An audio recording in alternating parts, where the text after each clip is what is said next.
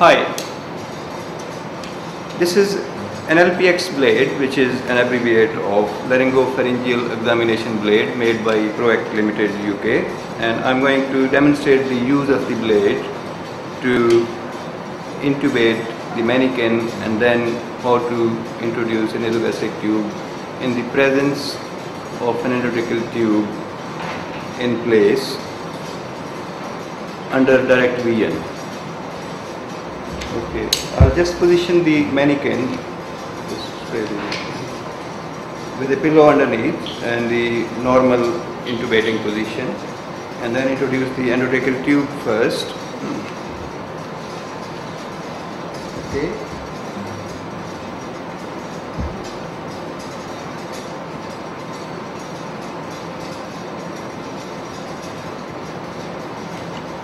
Now after inflation of the cuff of the endotracheal tube, we can introduce the nasogastric tube. but just before doing that, we can introduce it through the nostril, but just before trying to put it into the esophagus, we can have this blade behind the endotracheal tube first so that we can see where the nasogastric tube is being inserted. Now I can see the tip of the tube and I'm going to advance it into the esophagus under direct vision.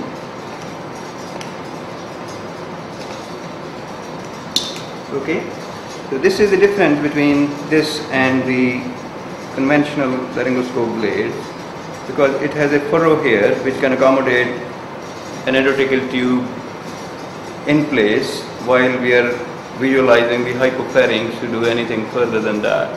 I'll repeat both these steps. First, the endotracheal tube insertion and then followed by nasogastric tube insertion just to explain again and repeat what we are doing. Just take the row. Okay. And then that one. Okay. Thank you.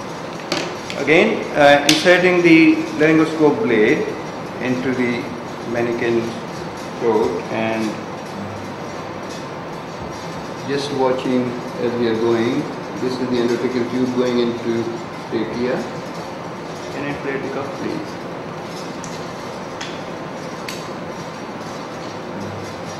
And once the tube is secured with the, an inflated cuff in the trachea, we'll introduce nasogastric tube into the nostril and then put the endotracheal tube in the furrow of this LpEx blade to see the insertion of nasogastric tube under direct vision with the help of the laryngoscope which is now a pharyngoscope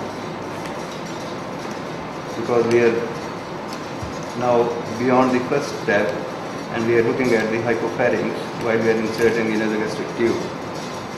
This is how um, this blade can be used for a dual purpose. First, insertion of endotracheal tube and then insertion of the nasogastric tube under direct vision. Thank you very much.